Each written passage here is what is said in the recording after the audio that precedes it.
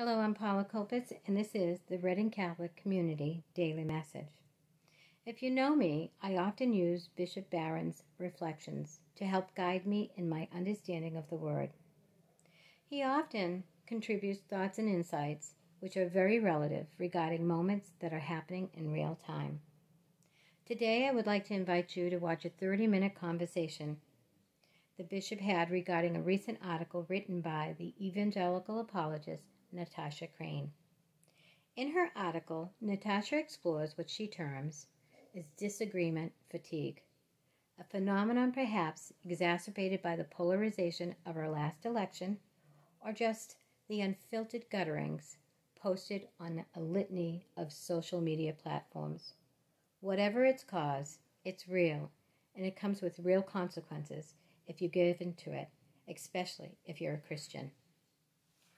Bishop Barron does a fine job when he encourages us as Christians to be more artful in our conversations, especially when it comes to conversations about our faith, many of which may start out negative, but all are actually opportunities to go into the deep, as St. John Paul II would say, and take the risk.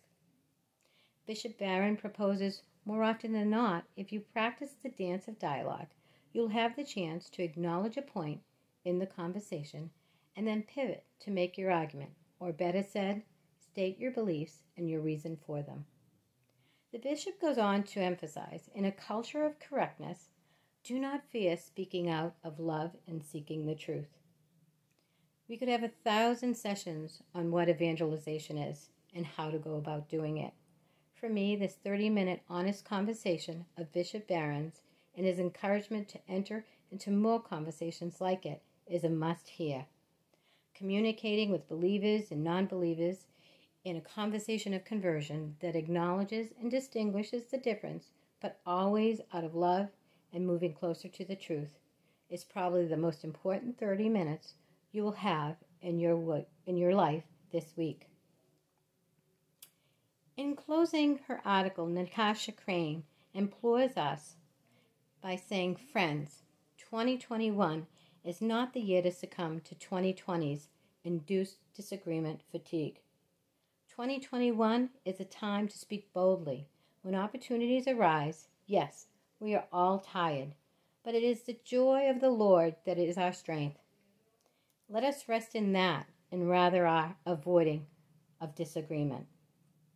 Bishop Barron closes, reminding us that disagreement is not a bad thing. When you say you're a Christian, you are saying you are not other things, giving an opportunity to enter into a deeper conversation, always in love and always seeking the truth. To watch this very thoughtful video, please find the link attached to this message. Have a beautiful day. God bless and happy Easter season.